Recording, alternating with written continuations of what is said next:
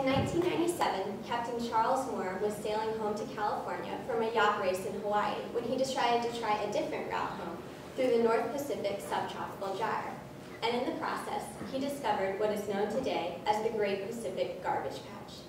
The Great Pacific Garbage Patch is created because the gyre is located at the confluence of several major oceanic currents, and as a result, all of the junk that has been floating along in these currents for thousands of miles gets deposited in this one area, creating a veritable floating landfill that some estimates place as being up to the size of Texas in the middle of the Pacific Ocean. To quote Captain Moore, here I was in the middle of the ocean and there was nowhere I could go to avoid the plastic. Plastic is one of the major pollutants in the Great Pacific Garbage Patch, and one of the greatest sources of plastic pollution er, throughout the world are plastic bags. For instance, the Ocean Conservancy hosts an International Coastal Cleanup Day once a year, wherein volunteers from around the world clean up their local coastlines for one day. And the day celebrated its 25th anniversary this past September, releasing their 25-year collection totals. 7,825,319 plastic bags have been collected by volunteers over the past 25 years on this coastal cleanup day. And this is an extremely an extreme problem threatening our environment because not only are these plastic bags an aesthetic eyesore, plastic bags are also proven to be harmful to many species of marine life, including some forms of endangered seabirds and sea turtles. So you might wonder, well, where are all of these plastic bags coming from? According to the American Plastic Manufacturers website, the average American uses 500 plastic grocery bags per year. And according to the Worldwatch Institute, Americans collectively throw away 100 billion plastic bags every year. And these plastic bags aren't just sitting around quietly in a landfill for a few years before decomposing, because according to the Worldwatch Institute, plastic bags can take up to 1,000 years to degrade.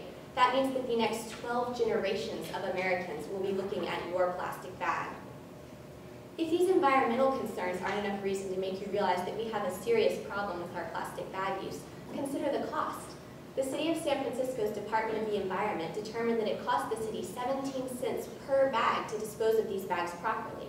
And when you consider those 500 bags per person per year, that money adds up very quickly. To sum up our plastic bag problem, I would quote Mr. Achim Steiner, the Executive Director of the United Nations Environment Program, when discussing marine litter, when he says, quote, some of the litter, like thin, single-use plastic bags, which choke marine life, should be banned or phased out rapidly everywhere. Which is why I'm here to argue to you today that the United States needs to implement a tax on plastic grocery bags to discourage our overconsumption of them with the ultimate goal of reducing their use in our environment. Now you might say, well hold on a second, what about recycling as an answer to this problem? But I'd like to explain to you now why recycling in and of itself is not an effective way to address our plastic bag problem. First of all, there are no federal laws on the books concerning the recycling of plastic bags, and so that means there's no mandate for us to try to recycle these bags to prevent them from winding up in our landfills.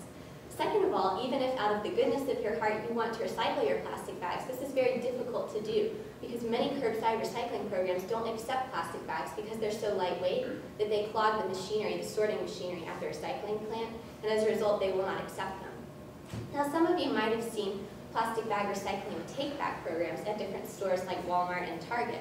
And you might think, well, what if we require all retailers that sell plastic bags to have these sort of take-back programs? But a May 2010 report from the Plastic Bag Recycling Task Force of the Solid Waste Agency of Lake County, Illinois, found that for some retailers, especially smaller ones, the costs associated with these plastic bag take-back programs are prohibitive. So if recycling isn't an effective way in and of itself to address this problem, why haven't we found other solutions to our plastic bag epidemic? Well, frankly, a large part of the reason is that our American plastic manufacturing industry spends a lot of money every year lobbying against bans or taxes on plastic bags, and instead promote recycling as the answer. However, as we've seen, recycling is not an effective way to deal with this problem. For example, a 2008 CNN article stated that less than 1% of plastic bags are recycled globally every year. Clearly, recycling in and of itself is not going to address this problem. However, I would like to propose a solution to you today that I think may help us deal with this plastic bag crisis. I propose that the United States should levy a 10 cent tax per single bag, per single use plastic bag sold by retailers and pharmacies that would allow the retailer to keep one cent of the revenue raised for administration for administrative purposes and up to two cents if they already had an in-store recycling program to help defray costs for that program. The rest of the money raised by the tax would be reallocated to the federal government to divert into funding for various other environmental programs. Now you might think that is a crazy off-the-wall idea. However, it actually has precedent in our very own country. Montgomery County, Maryland, and Washington, D.C. already have taxes on plastic bags that have been proven successful. And the Plastic Bag Reduction Act of 2009, which died in congressional committee, would have created a similar program. Additionally, we are being outshone by many other international countries and cities in this area, as cities and countries including Mumbai, Australia, Ireland, Italy, South Africa, China, and Tanzania all have some form of ban or tax on plastic bags already in place. Now looking at why plastic bags, why taxing them would be an effective way to deal with this problem, we can look at the example of Washington, D.C. After the plastic bag tax was levied in D.C., the bag use decreased from 270 million plastic bags in 2009 to only 55 million plastic bags in 2010.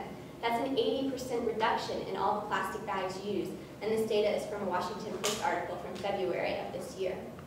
Additionally, the tax earned approximately $2 million for Washington, D.C., and furthermore, no negative effects were reported by many business owners. In a survey of 51 business owners commissioned by the Alice Ferguson Foundation, a local nonprofit environmental organization dedicated to cleaning up the area surrounding the Potomac River, 58% uh, of business owners reported no change to their businesses following the implementation of this tax, while 20% actually reported a positive change in the form of less litter around their storefronts and savings on the number of bags they had to purchase to serve their customers. Clearly, this tax was very effective in our nation's capital. But looking at a tax on a national level, we can see the example of Ireland, where a similar plastic bag tax levied in 2002 saw widespread success. The cost of administration for the program was only 3 cents of the uh, 3%, excuse me, of the total revenue raised, and additionally, the number of plastic bags entering the consumption stream was reduced by approximately 90% in Ireland, according to data from a 2007 article from the journal Environmental and Resource Economics. Clearly, this tax was very effective on a national level in Ireland. Obviously, this tax, this tax would be administered and enforced by our federal government, but you might wonder, well, hold on, how much will this cost, particularly in this fiscal environment? Well, looking into the example of Ireland, it cost approximately 2.6 million US dollars to implement the tax in Ireland and to run an advertising campaign which educated the public on why they were suddenly having to pay this tax. However, first year revenues raised from the tax were on the order of 16.5 million US dollars. Clearly, this tax would more than pay for itself if implemented. Now, of course, revenues would ultimately decrease as hopefully usage of plastic bags decrease, but this wouldn't be a major issue because the majority of the costs associated with implementing this tax are start with this tax are startup costs in nature. And additionally, the goal of this tax is not to raise money for our government, no matter how badly it might need money right now, but is to change behavior, and I believe that it would effectively do this. Obviously, it is important, however, to consider potential disadvantages of implementing a tax like this. These include the fact that the tax could potentially be a burden financially on some. However, I believe that this problem is addressed by the fact that this tax is not mandatory. It's entirely avoidable with the use of reusable shopping bags, which would more than pay for themselves after a few uses and which are much more environmentally friendly.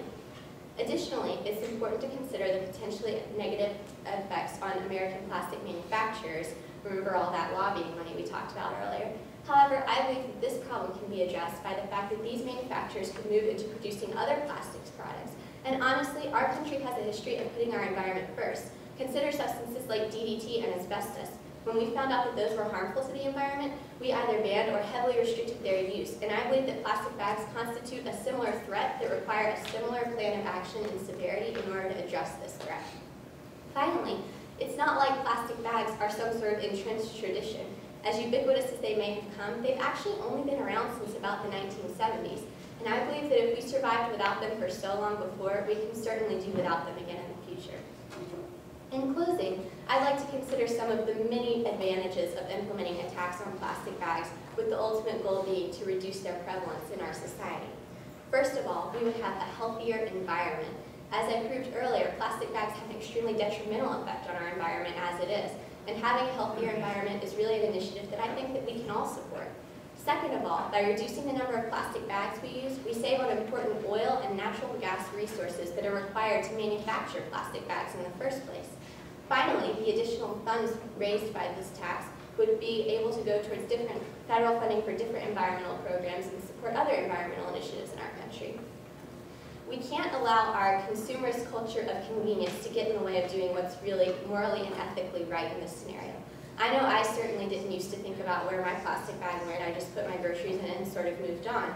But now I've really begun to see that plastic bags can have an incredibly adverse effect on our environment. And I hope that we won't allow our culture of convenience, of what's easy and fast, to get in the way of doing what's really right. Given plastic bags' harmful effects on our environment, their lingering nature as pollutants, being around for the next 12 generations, and the fact that many other countries have already taken it upon themselves to take the initiative on this issue, I believe that the question is not whether or not we can afford to tax plastic bags, but frankly, whether or not we can wait to, uh, whether or not we can afford to wait to act on this prevalent problem. Thank you.